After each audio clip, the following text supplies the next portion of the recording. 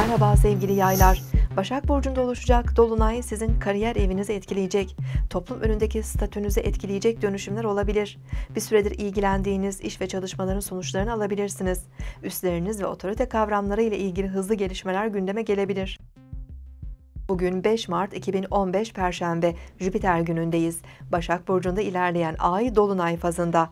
Akşam 20.07'de Ay Güneş'le karşıt açı yapacak ve 14 derece Başak Burcu'nda Dolunay meydana gelecek.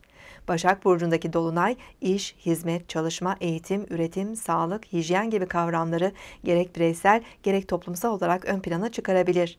Yeni ayda başlayan girişimlerimizin daha görünür hale geldiği, yeni fikir ve düşüncelerimizin netleştiği bir dönemde olacağız. Dolunay duygusal ve bedensel hassasiyetimizi arttırabilir.